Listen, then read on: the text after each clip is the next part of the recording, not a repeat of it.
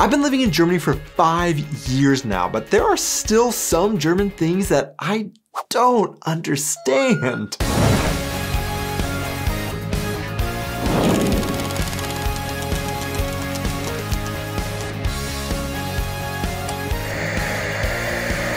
Hey guys, and welcome back to my channel. I am Donnie, and along with my wife Aubrey, we are two Americans currently living in Germany with our baby, sharing all of our experiences living and traveling throughout Europe. There are some amazing things Germans have or do that we had never seen in the US that we have come to love. Apfelschorle, taking shoes off in the house, the Eierschalen Sollbruchstellen verursache. But to be honest, there are some things that Germans seem to love that I'm still not sure how I feel about them, or I just genuinely don't understand, and I may just need some German insight to help me out. And that's exactly what I'm going to talk about today in my video.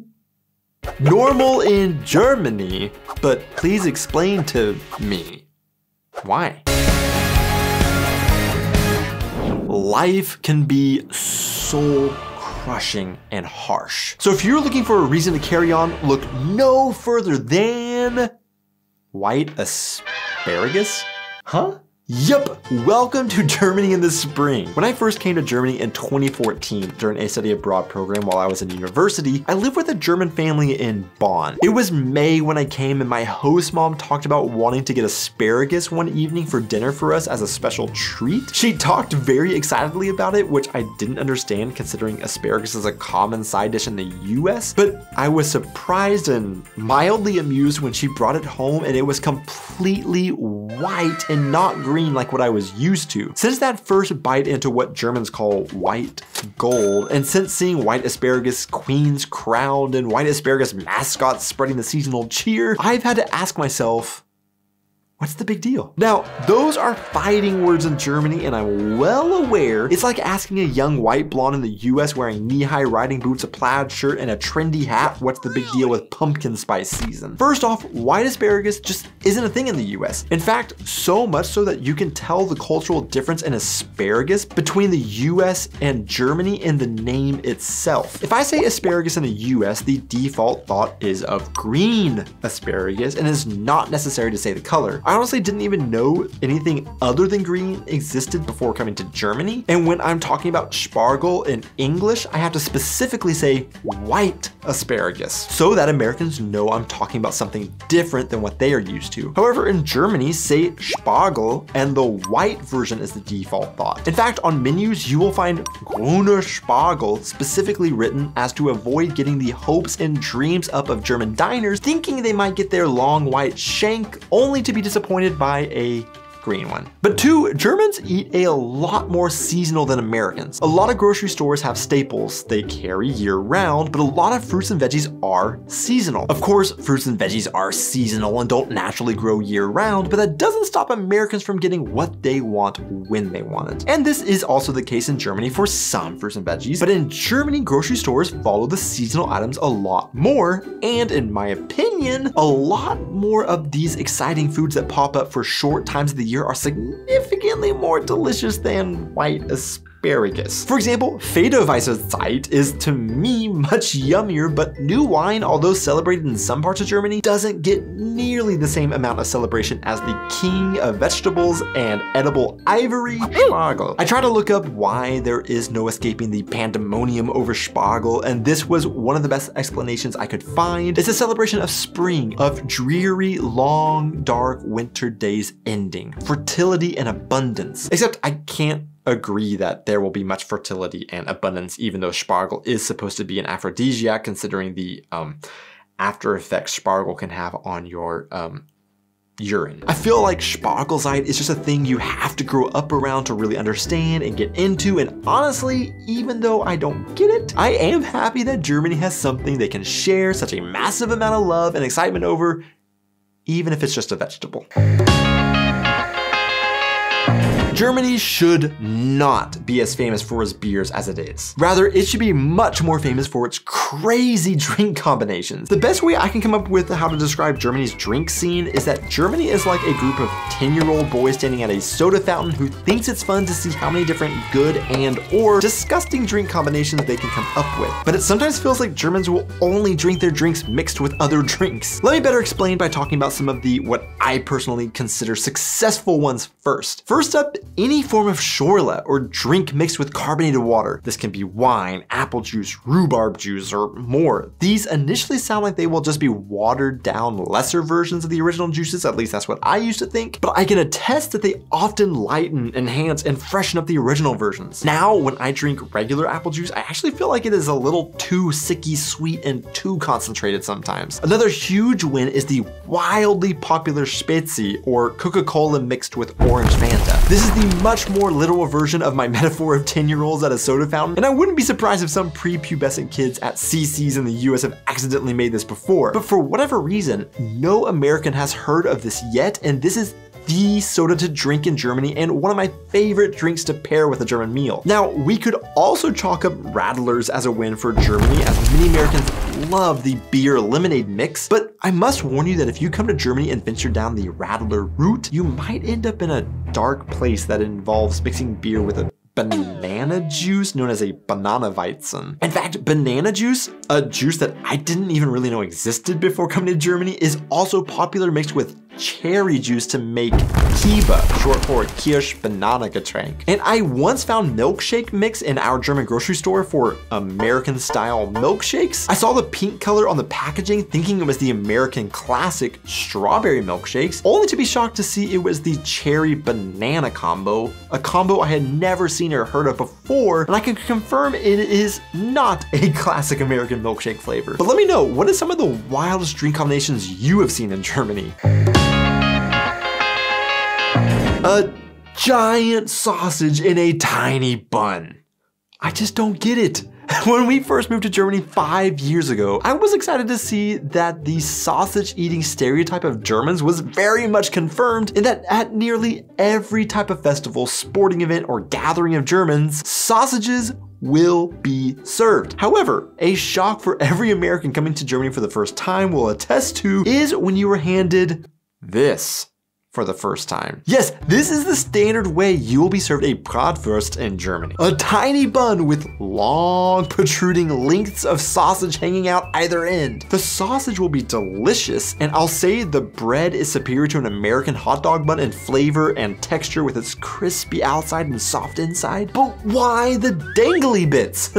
Besides just being aesthetically a bit grotesque to Americans, don't Germans want a bite of bread with every bite of sausage like I do? After after all, Germans are extremely proud of their bread and you would think they would want to enjoy it as much as they can. To me, it's a complete thing. For Germans, it seems like they ordered a sausage with a handle. But even with my sausage qualms about how Germans serve this food, I definitely don't get over the look on our American friends and family's shocked faces when they get their first experience holding an obscene sausage to bread ratio here.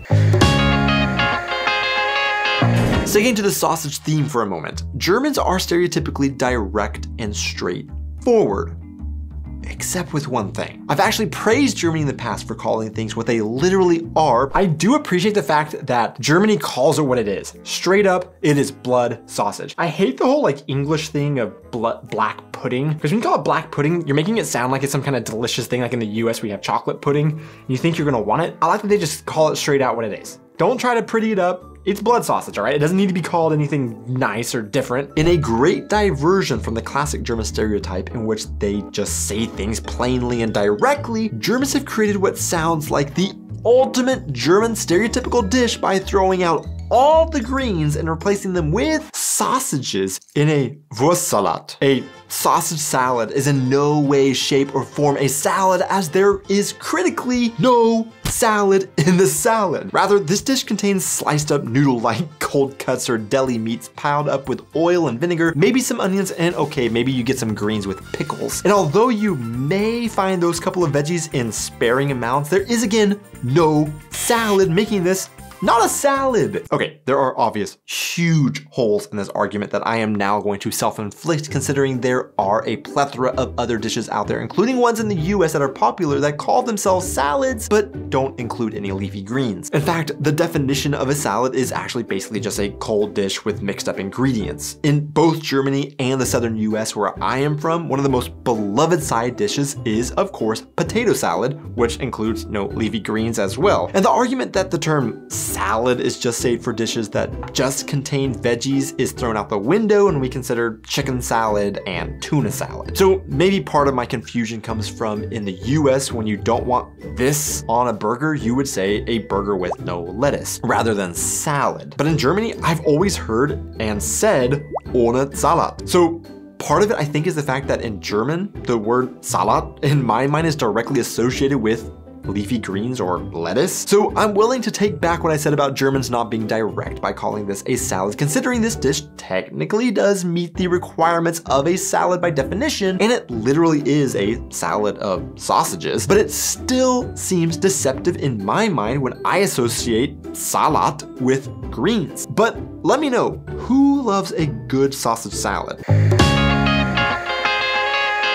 If you're looking to risk your life, move into a German home. I've lived for five years hearing from Germans how absurd they find it that we come from a state in the US that is prone to tornadoes, but still insist we build our houses out of wood. Now, there are different reasons for that, but that's not the topic of today's video. Now, I have come to love many things about German homes. Their thick concrete walls, for example, the Rollladen shades and tilting windows, but somebody needs to explain how it is still allowed in Germany to have water splashing about right next to a power outlet. I will admit that nothing bad has ever happened in the five years that we have lived on the edge by having the pulsating electricity directly next to a stream of water where we fling our soaking hands up to flip the lights off.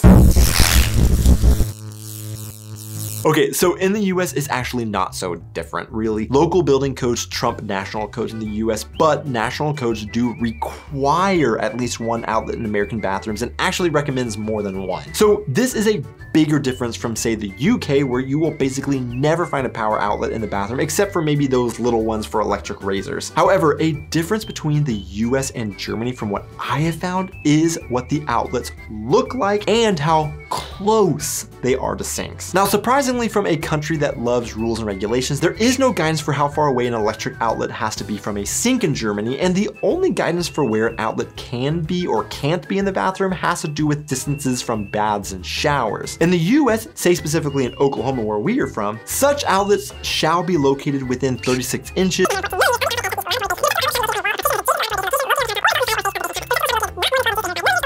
often in American bathrooms, an outlet will look like this as opposed to this. This is a GFCI outlet, which if it detects even the slightest leak in power by say, oh, wet hand conducting a bit of electricity, it will trip the outlet and shut it off. Now, if it isn't obvious, I am not an electrical engineer or electrician, so no, I don't know the specific technical details of electricity, so I won't get into the nitty gritty, but not all outlets look like this and may look like a normal outlet in bathrooms, but they will be wired to a GFCI outlet somewhere else in the house, which will regulate it as if it was a GFCI outlet, or rarely because they are more expensive, you may have a GFCI breaker in the panel. Since we also are used to seeing the outlets with buttons on them in bathrooms, we were surprised in Germany that the outlets in the bathroom looked basically just like the ones in any other part of our house. Rather, what I have found is recommendations for using outlets with certain IP ratings that are protected against dripping water from above, or even outlets with covers to protect them from splashing water. Or since 1984, it has been required in new builds in Germany to install an FI schalter that does the same thing as a GFCI breaker that are so rare in the US. Rather than the protection and reset buttons being in the outlet itself like in the US, these are installed installed in the breaker box in Germany. But okay, let me shift to another bathroom outlet and ask,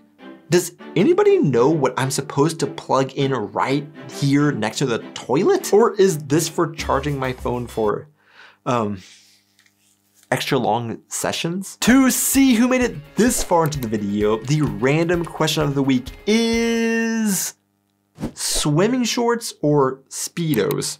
What do you prefer? Thanks so much for watching this video, guys. Be sure to hit those like and subscribe buttons, and I will see you in my next video. In a Wurstsalat. In a Wurstsalat.